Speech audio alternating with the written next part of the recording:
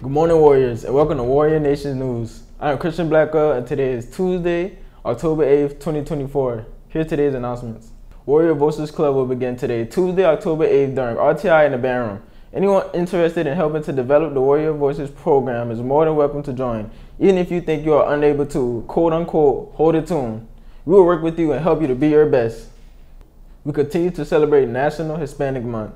This annual observance is an opportunity to celebrate the achievements, histories, traditions, diversity, and vibrant culture of Hispanic and Latino Americans. On the monitors in our school, a question will be posted, and students can earn prizes for being the first to answer correctly in the Warriors Announcements Google Classroom. WIN testing for seniors is Monday, October 28th. All seniors scheduled to test will meet with Mrs. Cato Austin today, Tuesday, October 8th, during Warrior Time. Any senior who has not had their senior portraits taken Please mark your calendars for October 28th, which is the makeup day. Appointment information will be coming soon. And now for sports. Our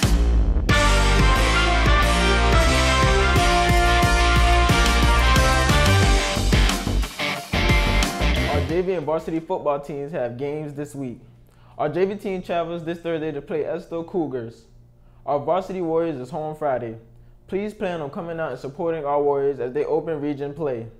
We will hopefully have an interview from Coach Hatcher previewing the game. Sports physicals are given at Whale Branch every Wednesday in the health clinic. To get a sports physical, you must have a signed Beaufort Jasper Hampton Comprehensive Health Services parental permission form on file. Wrestling conditioning has begun. To participate in wrestling conditioning, you must have an updated athletic packet on file. Both girls and boys are welcome to participate in wrestling. For the rest of our school announcements, Stay tuned to all the television monitors around our school. Thanks for joining us on Warrior Nation News. I am Christian Blackwell. Have a wonderful Warrior Day.